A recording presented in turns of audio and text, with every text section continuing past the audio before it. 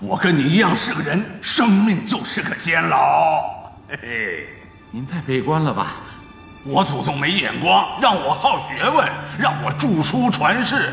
谁知道写游记，他们说我泄露国家机密；写历史，说我借古讽今；注解兵法，又说我策动谋反；写神怪故事吧，又说我导人迷信；最后改写名人传记，结果这个名人失势被定为乱党，我跟他一块判了个终身监禁。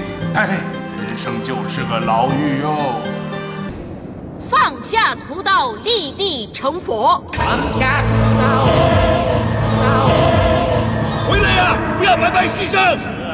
我母信妖孽，杀害忠臣义士，今日为赎我罪行，我要跟他拼了！乾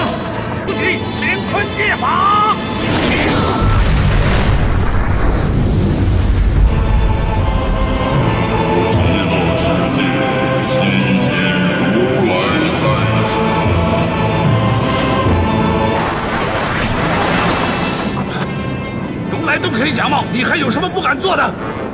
你别在我们面前假惺惺的！难道你可以一手遮天？